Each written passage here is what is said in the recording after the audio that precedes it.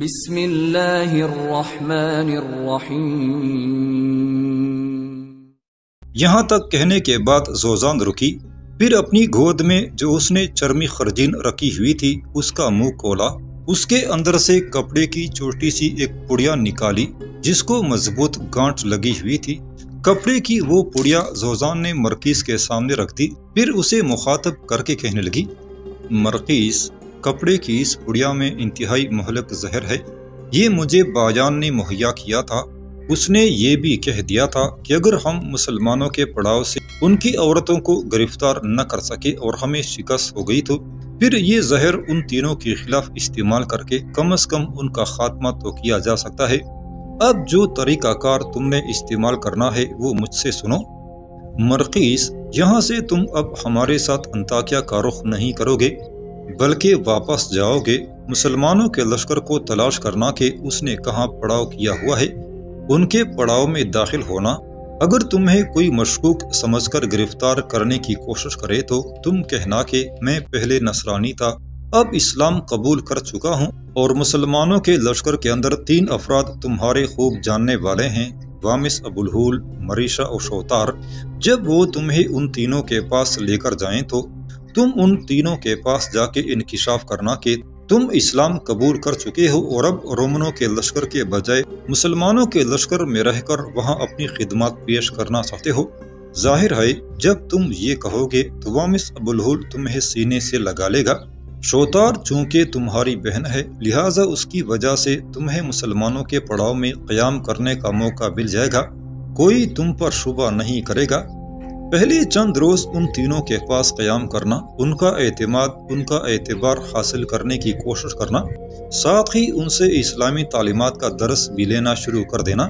اس طرح انہیں یقین ہو جائے گا کہ تم واقعی اسلام قبول کر چکے ہو اور ان کے طریقے کے مطابق ان کی عبادت بھی کرنی شروع کر دینا۔ اس طرح تم پر ذرا برابر بھی شک نہیں کیا جائے گا۔ یوں چند روز مسلمانوں کے پڑاؤ میں قیام کرنا اس قیام کے دوران کوشش کرنا کہ اکثر و بیشتر تم وامس ابو الحول مریشا اور شوتار کے ساتھ کھانا کھاؤ۔ پھر کوئی مناسب موقع جان کر یہ جو زہر میں نے تمہیں مہیا کیا ہے، یہ وامس ابو الحول مریشا اور شوتار کے کھانوں میں ملا دینا اور ایسا کرنے کے بعد فوراً مسلمانوں کے پڑاؤ سے نکل کر واپس آ جانا۔ اس لیے کہ یہ زہر ایسا مخلق ہے کہ جو بھی اسے کھائے گا، کھانے کے ساتھ ہی یہ اثر انداز ہوگا اور اس کا خاتمہ کرتا چلا جائے گا۔ یہاں تک کہتے کہتے زوزان کو رک جانا پڑا۔ اس لیے کہ مشرق کی طرف سے کچھ گھڑ سوار رومن اپنے گھوڑوں کو بگاتے ہوئے ان کے پاس آئے تھے۔ انہیں دیکھتے ہوئے سب فکر مند ہو گئے تھے۔ وہ گھڑ سوار جب پڑاؤ میں آئے، تب کچھ لوگ انہیں پکڑ کر کیترائن، زوزان، بطورس اور مرقیز کے پاس لے آئے۔ انہیں دیکھتے ہی زوزان نے پوچھ لیا میرے عزیز ہو تم کہاں سے آئے ہو؟ کیا ہمارے لیے تم کوئی اور بری خبر لے کر آئے ہو؟ اس پر ان میں سے ایک کہنے لگا ہاں ہم بری خبر لے کر آئے ہیں۔ یرمو کے میدانوں میں شکست اٹھانے کے بعد، بایان ایسا بدحواس ہوا کہ انتاکیہ کی طرف بھاگنے کے بجائے وہ دمشق کی طرف بھاگا۔ مسلمانوں نے اس کا تعاقب کیا۔ اس وقت اس کے ساتھ لگ بھگ چالیس ہزار کا لشکر تھا۔ مسلمانوں کا سالار خالد بن ولید اس پر حملہ عبور ہوا اور اس حملے کے دوران نہ صرف یہ کہ بایان مارا جا چکا ہے، بلکہ چالیس ہزار رومنوں میں سے اکثر کو موت کے گاٹ اتار دیا گیا ہے۔ اب جبکہ یرمو کے میدانوں میں ہمیں شکست ہو چکی ہے، تو مسلمانوں کا سارا لشکر اس وقت حمس کے مقام پر قیام کیے ہوئے ہے۔ اب دیکھیں وہ ہمارے خلاف اگلا کیا قدم اٹھاتے ہیں۔ یہاں تک کہنے کے بعد وہ شخص جب خاموش ہوا تو زوزان نے اسے اور اس کے ساتھیوں کو آرام کرنے کے لیے کہا۔ اس پر وہ اپنے گھوڑوں کی باغیں پکڑ کر پیچھے ہٹ گئے۔ ان کے جانے کے بعد زوزان نے مرقیس کو مخاطب کیا۔ مرقیس، میرے خیال میں جو کام میں تم سے لینا چاہتی ہوں، اس کی تفصیل تم جان چکے ہو۔ اب بولو، تم کیا کہتے ہو؟ اس پر مرکیز کہنے لگا۔ اگر آپ حکم دیتی ہیں تو میں ابھی اور اسی وقت اپنے گھوڑے پر سوار ہوتا ہوں اور خمس میں مسلمانوں کے پڑاؤ کا رخ کرتا ہوں اور جو کچھ آپ نے کہا ہے اس کی تکمیل کر کے لوٹوں گا۔ مرکیز کے ان الفاظ پر زوزان مسکرائی اور کہنے لگی، نہیں، میں ایسا نہیں چاہتی۔ پہلے ایک رات یہاں ہمارے ساتھ بالکل پرسکون انداز میں آرام کرو اور آنے والی صبح کو جب ہم یہاں سے انتاکیہ کی طرف کوچ کریں گے، تم حمس کی طرف چلے جانا۔ مرکیس اور بطورس دونوں نے اسے اتفاق کیا۔ مرکیس نے وہ رات وہیں قیام کر کے آرام کیا۔ اگلے روز کیترائن اور زوزان دونوں اپنے لشکر کے ساتھ انتاکیہ کی طرف چلی گئی تھی جبکہ مرکیس حمس شہر کا رخ کر گیا تھا۔ یرموک کی شاندار فتح کے بعد فاروق اعظم رضی اللہ عنہ نے ابو عبیدہ بن جرح اور خالد بن ولید کو بیت المقدس فتح کرنے کے لیے ہدایات دی تھی یہ حکم ملتے ہی آپس میں صلاح و مشورہ کرنے کے بعد ابو عبیدہ بن جرح اور خالد بن ولید نے سب سے پہلے بیس ہزار کا ایک لشکر علیحدہ کیا۔ اسے چار مزید حصوں میں تقسیم کرنے کے بعد پانچ پانچ ہزار کے لشکر کو چار سالاروں کی سرکردگی میں دے کر بیت المقدس کی طرف روانہ کیا۔ ان میں سے ایک حصہ یزید بن ابو سفیان، دوسرا شرجیل بن حسنہ، باقی دو حصے دوسرے سالاروں کی سرکردگی میں دیے گئے۔ یہ چاروں لشکر بیت المقدس پہنچے اور بیت المقدس کے چار دروازوں کے سامنے اپنے اپنے حصے کے لشکر کے ساتھ پڑاؤ کر گئے تھے۔ ان کی روانگی کے دس دن بعد ابو عبیدہ بن جرح اور خالد بن ولید بھی سارے لشکر کے ساتھ بیت المقدس پہنچے تھے۔ شہر کا محافظ اس وقت ایک رومن سالار ارتون تھا اور شہر کا سب سے بڑا پادری سفر و نیوز تھا۔ بیت المقدس پہنچ کر ابو عبیدہ بن جراح نے بیت المقدس کے لوگوں کی طرف ایک خط لکھا۔ جس کا مضمون اس طرح تھا، مصلحت اور خوشی ان لوگوں کے لیے ہے جو راہ راست پر چلتے ہیں اور اس کے رسول صلی اللہ علیہ وسلم پر ایمان لاتے ہیں۔ ہم تم سے یہ چاہتے ہیں کہ تم ہمارے رسول صلی اللہ علیہ وسلم پر ایمان لے آؤ۔ جب تم ایمان لے آؤ گے تو ہمیں حرام ہے کہ ہم تمہیں ماریں یا تمہارے بال بچوں کو ہاتھ لگائیں۔ اگر تم ایمان نہیں لاتے تو ہم کو خراج دو۔ ہماری حمایت میں رہنا اختیار کرو۔ اور یہ بھی نہ مانو گے تو میں تمہارے مقابلے میں ایسے لوگوں کو لاؤں گا جو اللہ کی راہ میں شہید ہونے کی آرزو رکھتے ہیں۔ ہم بغیر فتح کیے یہاں سے واپس نہیں جائیں گے۔ بیت المقدس کا بڑا پادری سفر مسلمانوں سے صلح چاہتا تھا، لیکن ارتون جو رومنوں کا سپہ سالار تھا، وہ جنگ پر آمادہ تھا۔ لہٰذا جب مسلمانوں نے بیت المقدس کا محاصرہ کیا تو ارتون اپنے لشکر کے ساتھ قلعہ بند ہو کر بیٹھ گیا۔ اس کے بعد جب ابو عبیدہ بن جرح اور خالد بن ولید کی سرکردگی میں مسلمانوں نے شہر پر حملہ آور ہونا شروع کیا تو جواب میں شہر کے محافظ فصیل کے اوپر سے تیر اور پتھر برساتے، لیکن مسلمان دن بدن شہر کے محاصرے میں سختی پیدا کرتے چلے گئے تھے۔ مسلمانوں کی طرف سے جب محاصرے میں شدت پیدا کر دی گئی اور ان کے حملوں میں بھی تیزی اور سختی آ گئی، تب شہر کے لوگ گھبرا اٹھے۔ خود ارتون اور شہر کے معززین بیت المقدس کے بڑے پادری سفر و نیوز کی خدمت میں حاضر ہوئے اور اس سے التماس کی کہ شہر کے اندر جو رومن لشکر ہے وہ مسلمانوں کا مقابلہ نہیں کر سکتا، لہٰذا مسلمانوں سے مصالحت کر لی جائے۔ جواب میں سفر و نیوز کہنے لگا، میں تو پہلے ہی صلح کے لیے آمادہ تھا، لیکن ارتون نہیں مان رہا تھا۔ سفر نیوز کی اس گفتگو سے شہر کے معززین خوش ہوئے اور کہنے لگے اگر یہ بات ہے تو پھر مسلمانوں سے صلح کر لینی چاہیے اور شہر کی چابیاں مسلمانوں کے حوالے کر دینی چاہیے۔ ان الفاظ پر بڑا پادری سفرونیس مسکرایا اور کہنے لگا، ایسا نہیں ہوگا۔ شہر کی چابیاں یوں ہی مسلمانوں کے حوالے نہیں کر دی جائیں گی، بلکہ ہماری کتاب مقدس میں یہ فرمان لکھا ہوا ہے کہ شہر پناہ کی چابیاں جس کے حوالے کی جائیں، وہ اپنے غلام کے اونٹ کی مہار تامے ہوئے شہر میں داخل ہوگا۔ اور میں سمجھتا ہوں یہ فرمان پورا ہونے کا وقت آ گیا ہے۔ جب تک ایسا شخص میرے سامنے نہیں آئے گا، میں اس وقت تک چابیاں مسلمانوں کے حوالے نہیں کروں گا اور یہ شخص یقیناً مسلمانوں کا خلیفہ ہوگا۔ لہٰذا اگر مسلمانوں کی خلیفہ یہاں آئیں تو میں بیت المقدس کی چابیاں ان کے حوالے کر دوں گا۔ آخر بیت المقدس کے لوگوں نے یہ پیغام ابو عبیدہ بن جراح تک پہنچایا۔ سفر و نیوز کی اس پیشکش پر ابو عبیدہ بن جراح نے ایک خط فاروق اعظم رضی اللہ عنہ کے نام لکھا اور اس خط میں آپ نے تحریر کیا، بیت المقدس کی فتح آپ کی آمد پر منحصر ہے۔ ابو عبیدہ بن جراح کی طرف سے یہ خط ملنے کے بعد آپ نے حضرت عثمان اور حضرت علی سے اس سلسلے میں مشورہ کیا۔ حضرت عثمان نے فاروق اعظم کے بیت المقدس جانے سے اختلاف کیا، لیکن حضرت علی نے اس موقع پر فرمایا مسلمان سخت پریشان ہیں۔ انہوں نے موسم کی سختی، جنگ اور طویل مسافت کی غیر معمولی مشقت برداشت کی ہے۔ بہتر ہے آپ بیت المقدس تشریف لے جائیں۔ اس طرح مسلمانوں اور نصرانیوں کو تسلی بھی ہو جائے گی اور شہر آپ کی وجہ سے فتح بھی ہو جائے گا۔ فاروق اعظم نے بیت المقدس جانے کا ارادہ کر لیا۔ اپنے بعد حضرت عثمان کو اپنا نائب مقرر کیا اور خود بیت المقدس کی طرف روانہ ہوئے، اس حالت میں کہ اپنے وقت کا ایک طاقتور حکمران اور وسیع سلطنت کا مالک معمولی سی ایک خاص تری رنگ کی اونٹنی پر سوار ہوا، اپنے غلام کو ساتھ لیا۔ اونٹنی پر دو تیلے لٹک رہے تھے، ایک میں ستو اور دوسرے میں کجوریں تھیں، جبکہ سامنے پانی کا مشکیزہ تھا اور ایک کشکول تھا جس میں دوسری اشیاء تھیں۔ سفر کرنے کا طریقہ یہ تھا کہ چونکہ آپ کا خادم آپ کے ساتھ تھا، ایک منزل کے لیے فاروق اعظم اونٹنی پر بیٹھتے تھے، مہار غلام پکڑتا تھا، دوسری منزل پر غلام اونٹنی پر بیٹھتا تھا اور فاروق اعظم اونٹنی کی نکیل پکڑ کر آگے آگے چلتے تھے۔ سفر کے دوران ہر صبح کے وقت آپ وہ کشکول کھول کر سامنے رکھتے اور اپنے غلام کے ساتھ مل کر کھانا کھاتے۔ اس طرح سفر کرتے ہوئے آپ بیت المقدس کے ایک مقام پر پہنچے جس کا نام جابیہ تھا۔ ابو عبیدہ بن جراح، خالد بن ولید اور کچھ دوسرے سالار آپ کی آمد کا سن کر آپ کا استقبال کرنے کے لیے پہلے ہی جابیہ پہنچ چکے تھے۔